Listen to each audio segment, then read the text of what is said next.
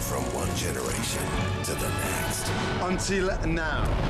Everyone's got their secret weapon. My rabbit cooked in white My wine. mum's lasagna. My grandmother's German food. Meatballs. meatballs. Our chicken schnitzel. Let the flames begin.